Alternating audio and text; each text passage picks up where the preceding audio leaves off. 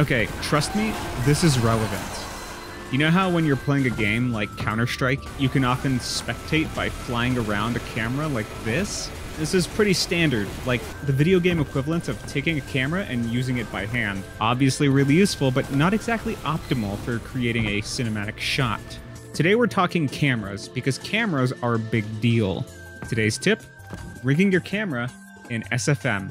Okay, but why rig your camera? You can click and drag the camera into the viewport and then control it like the spectator.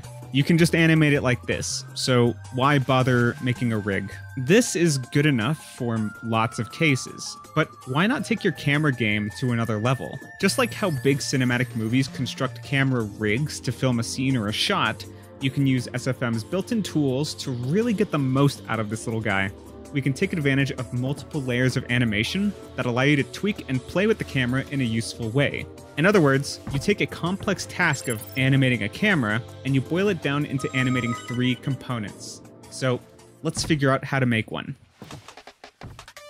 First, place your camera.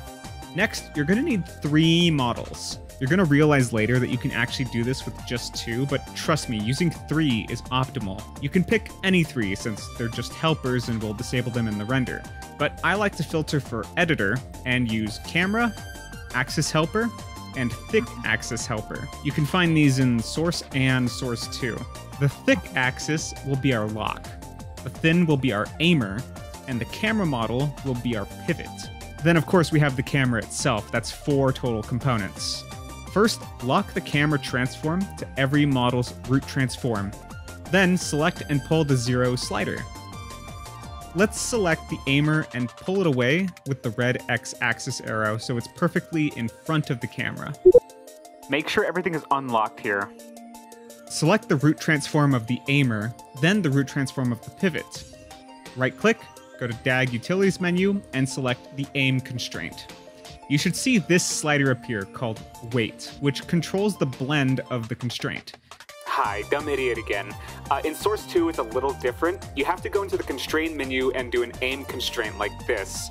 Uh, also, you have to do it the other way around. Start with the pivot, then click on the aimer and do it that way. Then, select the root transform of the pivot and click and drag it to lock it into the camera lock. Then select the camera lock root transform and click drag that to lock to the camera transform. And there you go. You have a sick three layered camera rig. Select the pivot and you can now move the camera through space while maintaining the focus of the shot.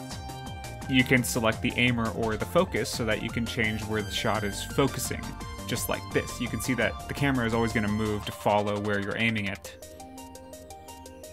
Then you can use the X rotation of the camera lock to animate the tilt of the camera. Very simple.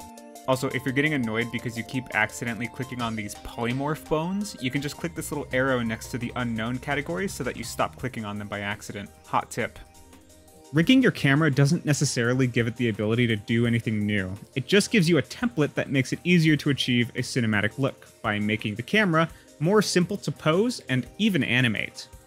For example, what if we have the scout looking over this vista?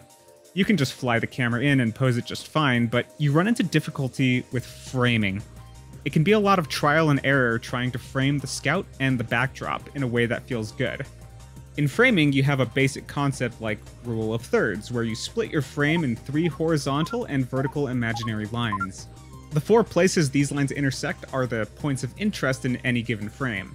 This means that when you're designing a frame, you place everything you want people to really focus on in these areas. These four intersections are quite ironically called the thirds. The scout is our focal point for this shot, so we should have the scout positioned on one of our thirds. Well, let's throw in our camera rig. If you look through the camera view, you can see that our aim point is in the center, but check this out. Select the camera lock and rotate it so that the aimer is positioned on the third we want to use. Then, let's take that aimer and place it inside the scout. Now you can see that scout will be framed in that same focal point. You can then select the pivot and find a good position for the camera. You'll see that wherever we move the camera pivot, our scout still remains properly framed because the pivot is always going to be looking at the aimer. This rig is a good streamline, but you have to keep in mind that it's not going to be good for every case. So whatever kind of shot you're making, you can use these same exact tools to rig your camera in a way that will fit your shot better.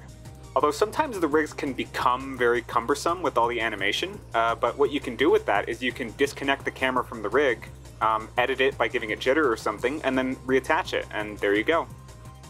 Also, big red text warning, you cannot lock the aimer and the pivot to the same object or to each other because it'll create a loop in the rig and crash SFM. Check out my channel community page to vote for the next tip of the week. I have so many more cool tips and tricks I want to teach you all. Thanks for watching, and talk to you again soon.